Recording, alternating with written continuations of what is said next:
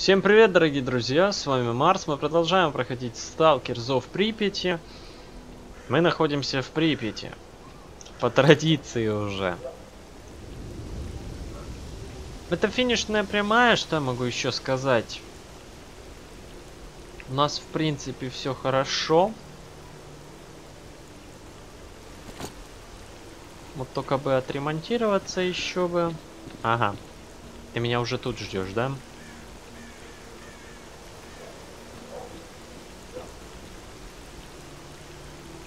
Вышел на связь начальник штаба. Я доложил обстановку, передал собранную информацию. Вертолетов пока не будет. Нам предлагают закрепиться на занятых позициях и ждать распоряжений. При штабе сейчас состоят наблюдатели из СБУ, так что ты сможешь поговорить со своими.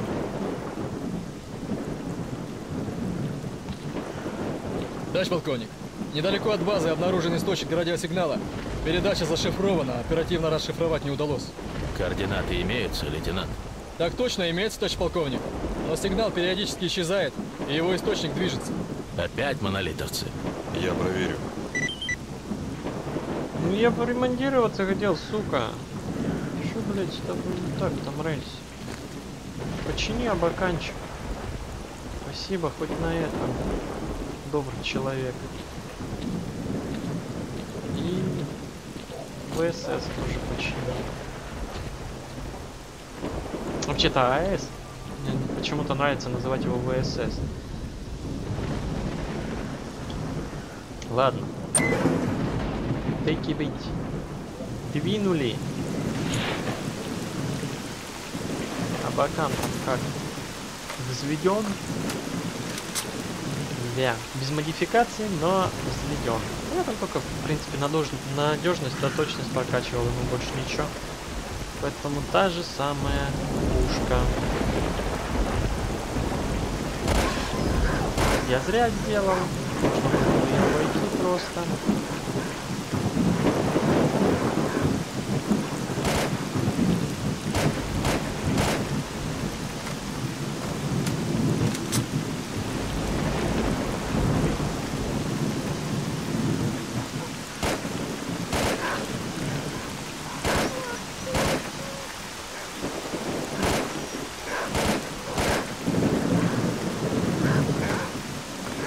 Ну, либо сваливайте, либо оставайтесь. Что я могу сказать?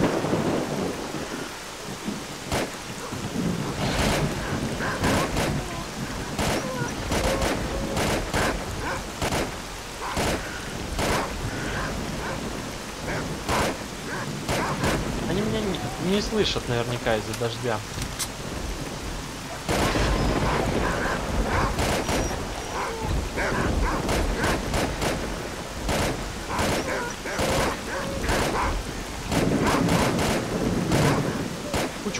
Просадил на ебаных собак.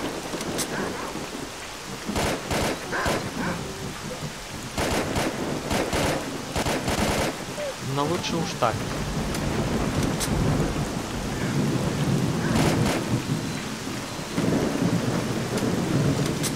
Чем они мне в спину грызутся, пидораски.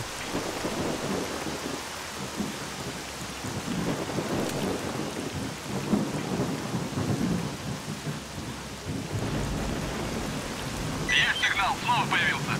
Передаю координаты.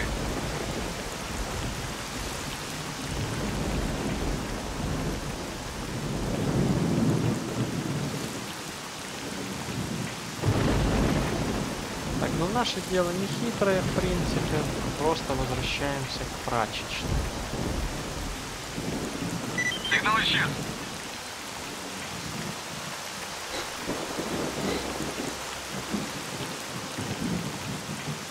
Ты все-таки хочешь, чтобы я туда зашел, да? Ладно.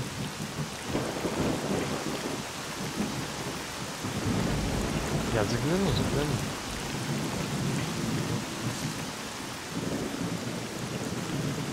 Сигнал появился?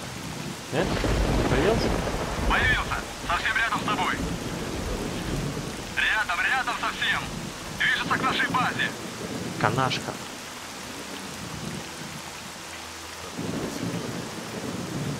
Майор, это Ковальский. Возвращался бы ты назад. Нам нужно как следует подготовиться на случай атаки. Я понял. Хорошо, что теперь они нас так не застукают. Чистом небе. Нападали неизвестно откуда.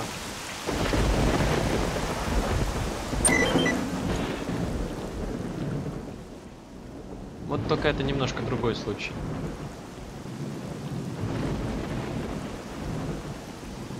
Не стреляйте, я иду к главному входу. Ты кто такой?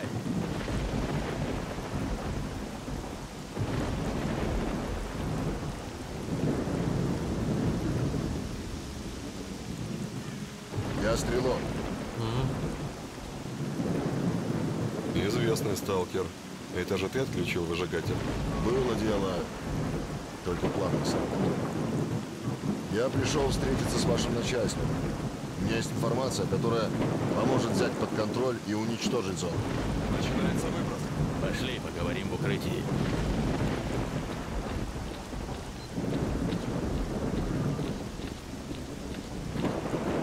У нас неприятности. Вертолеты разбиваются по неизвестной причине. Пока эта самая причина не выяснена, вертолетов больше не будет. Придется идти до края зоны на своих двоих. Причина самая простая. В воздухе, особенно ближе к центру зоны, аномалии не меньше, чем на Земле. Да у нас была подробная карта пролета мимо аномалий. Вертолеты под завязку начинили защитой от выбросов. Странно. Странно, что вы еще не заметили. После выбросов расположение аномалий обычно меняется. Некоторые рассасываются, зато появляются новые. Ваша карта устарела еще до записи на диск. Ясно. И что теперь? Выбросы не происходят подряд, один за другим. Если вы сможете просканировать местность сразу после выброса и засечь расположение аномалий, до следующего выброса вертолеты успеют забрать всех. При первой возможности нужно сообщить об этом в центр. После выброса я сразу же свяжусь с командованием. Ну, как вариант. Лейтенант, при первой возможности установи связь со штабом. Мне нужны патроны.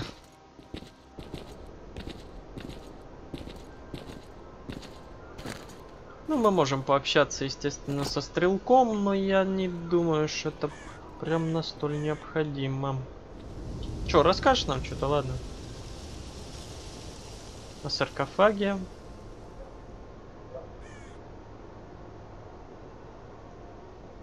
Сталкер, легенда. Может провести в любое место зоны. Военным вашим повезло, что они все по дороге в Припять. Понятно. Ну, бывай. Это же выброс, да? Ну...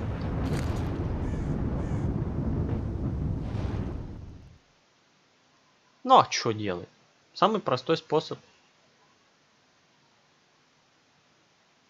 Свяжись с центром. Так точно. Центр на связи.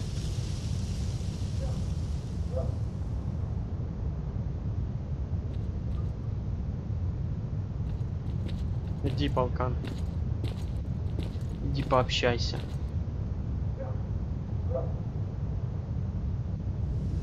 Ковальский, почему не было связи? Выброс, товарищ генерал.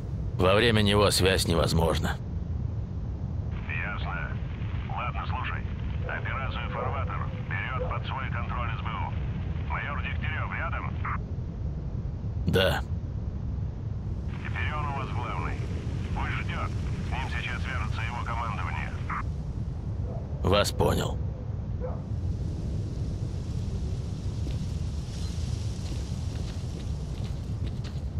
Майор, как слышно? Прием? Здесь майор Дегтярев. Связь хорошая.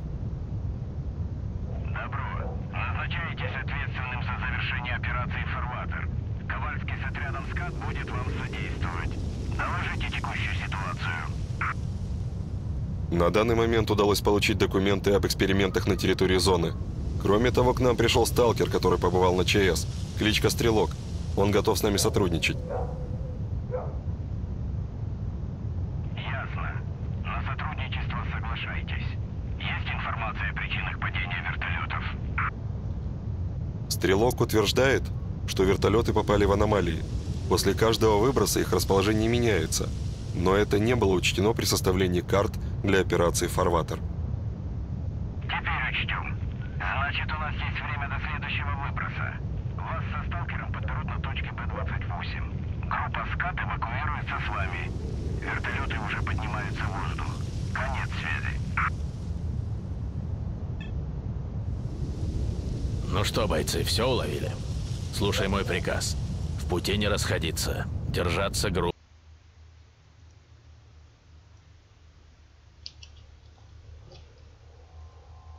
группой. Сталкера беречь как зеницу ока. Вопросы есть? Ну и отлично. Готовимся к отправке. Майор, можно тебя на пару слов? Да говно вопрос.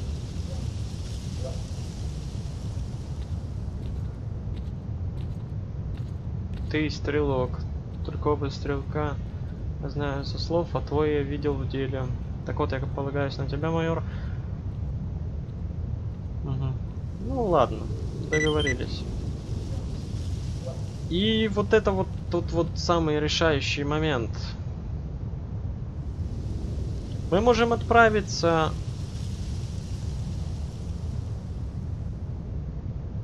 к речному порту в одиночку. И, естественно, будет плохая концовка. А можем пойти туда со всеми ними, и будет относительно хорошая концовка. Ну что ж, приступим, нет? Поднимай бойцов, я готов.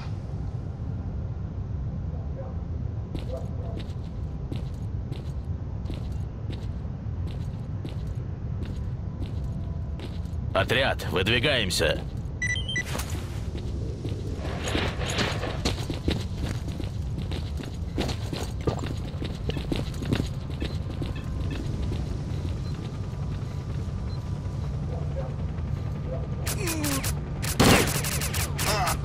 Кнопка залагала. Это не я стрелял. Оно само. На секундочку.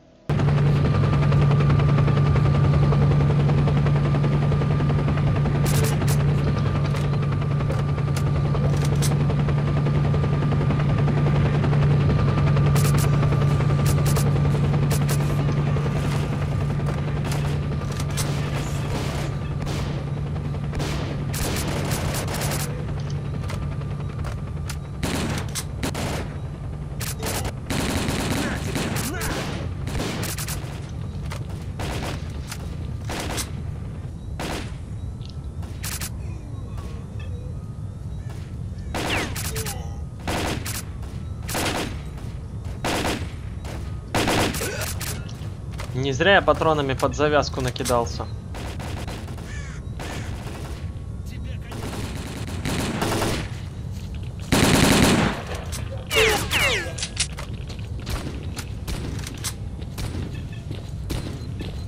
Давай уходим, стрелок, хули делать.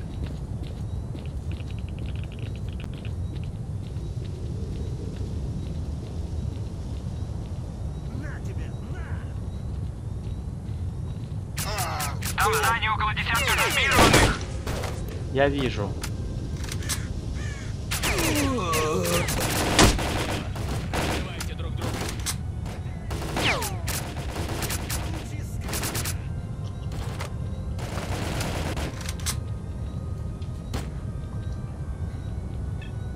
Ты думаешь, я этого не знал?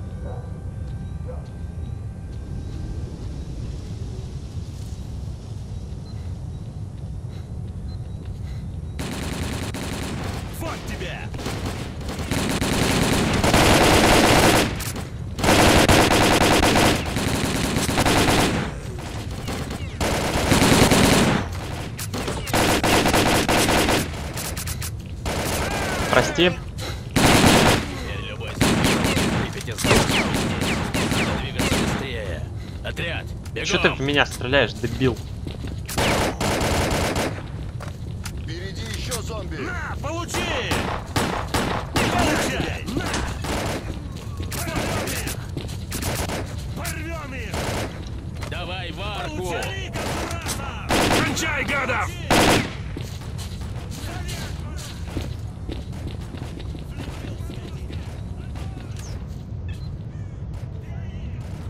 Ну чё, вы готовы, нет?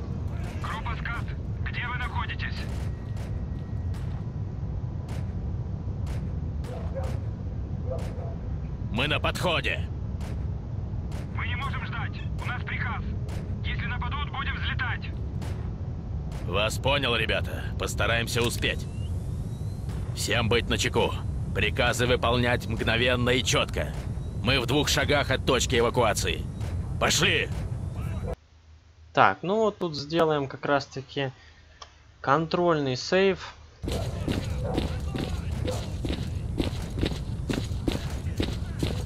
Нет времени. Всем проверить оружие. Огонь открывать без команды. Ну естественно, как иначе-то, блядь.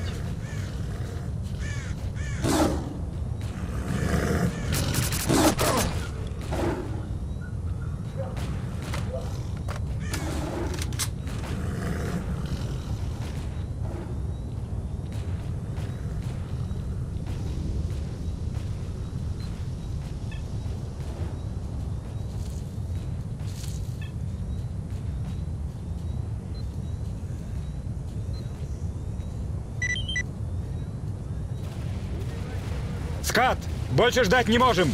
Через минуту идем на взлет.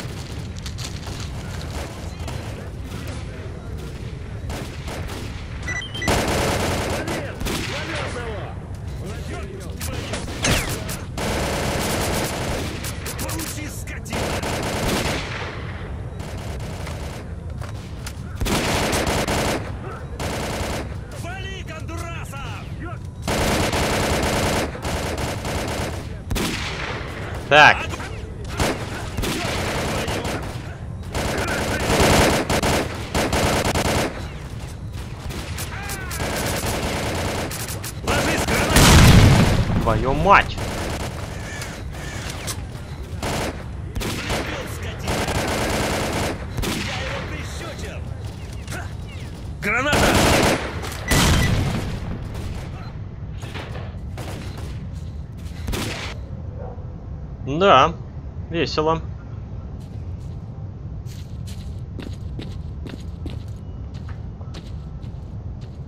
Майор, мы готовы взлетать. Стрелок и личный состав группы «Скат» убиты. Готовьтесь к отлету. Вас понял.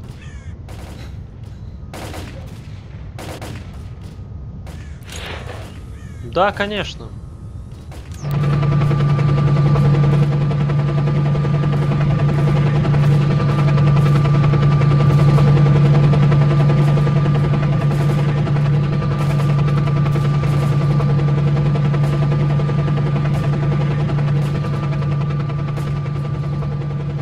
Вот вам и плохая концовка.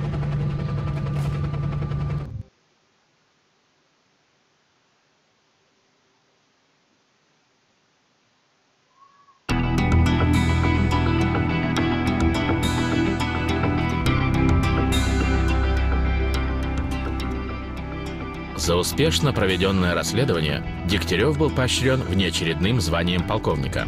Отказавшись от предложенной ему штабной должности, он выразил желание направиться в зону постоянным наблюдателем от службы безопасности. Информация о пси-установках, добытая майором Дегтяревым, не на шутку встревожила его руководство. Все материалы по X-лабораториям были изъяты из военных архивов и помечены грифом особой важности. Сотрудники СБУ в зоне получили приказ любой ценой воспрепятствовать распространению информации о сути проводившихся работ. На основе промышленной документации изделия номер 62 было создано несколько опытных образцов. После испытаний от массового применения данного оружия было решено отказаться. Стоимость боеприпасов оказалась слишком высокой. Впрочем, некоторые факты позволяют предположить, что совершенствование гаусс-пушки негласно продолжается. Скадовск остался прибежищем для всех, кому повезло до него добраться. Бандиты упорно стремились установить на судне свои порядки, однако сталкеры успешно этому противостояли. День за днем тянулось неустойчивое затишье. Но и это длилось недолго. Кровососы, что обитали в логове неподалеку, протарили к судну дорогу. После того, как нападения стали происходить даже днем, люди отправились в рейд. К сожалению, им не удалось зачистить туннели, и вскоре очередная волна хищников затопила Скадовск. Между отрядами «Свободы» и «Долга» на станции Янов установилось шаткое равновесие. Утомленные бессмысленной борьбой, бойцы враждующих группировок стали пополнять ряды вольных сталкеров. Научно-исследовательская экспедиция профессоров Германа и Озерского не смогла собрать достаточное количество данных и была свернута. После возвращения на Большую Землю оба ученых занялись деятельностью, не связанной с зоной. Рассказ Гарика о судьбе военных отпугнул сталкеров от Припяти. Немногие осмелившиеся посетить ее столкнулись с необъяснимыми и пугающими явлениями, что лишь добавило мрачные штрихи к облику мертвого города.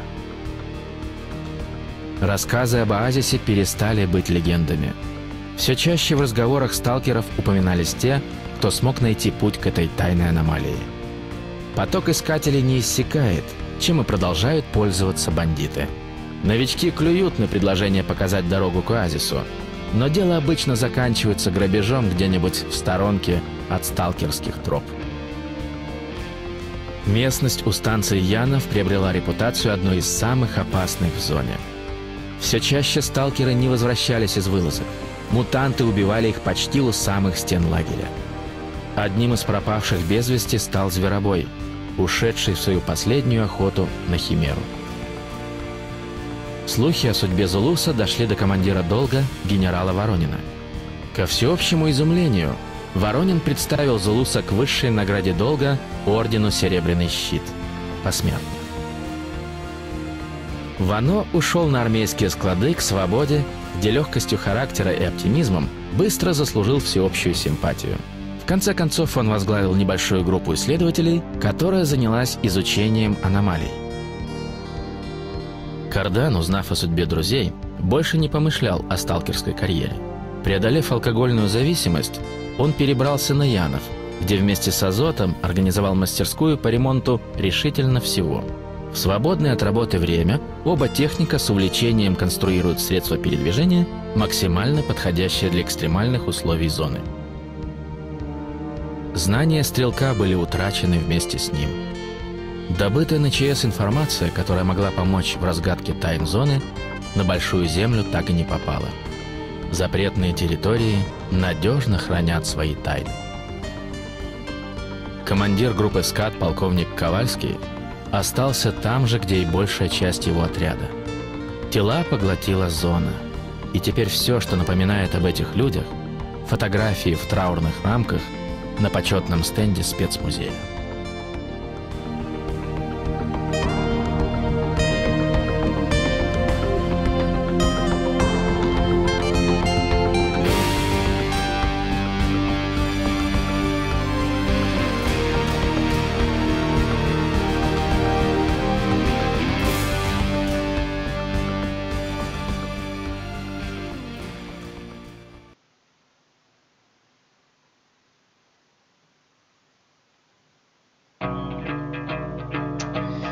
Собственно, и заканчивается Сталкер.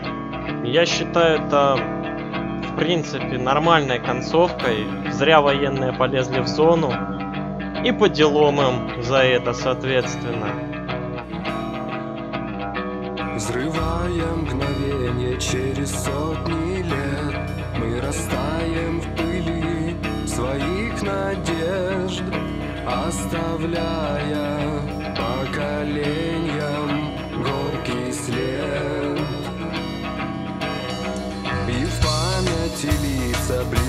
нам людей Праздник красных флагов, звонкий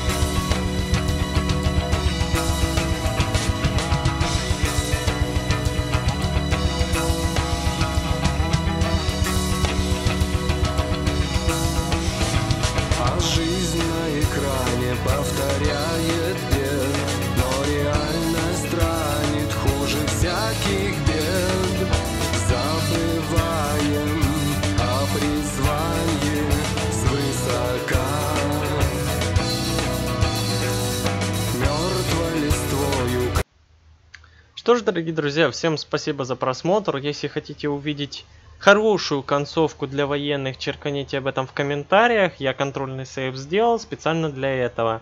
На этом я, пожалуй, закончу свое прохождение Сталкера Зов Припяти. Всем спасибо за просмотр, за поддержку. Всем пока. До новых видео.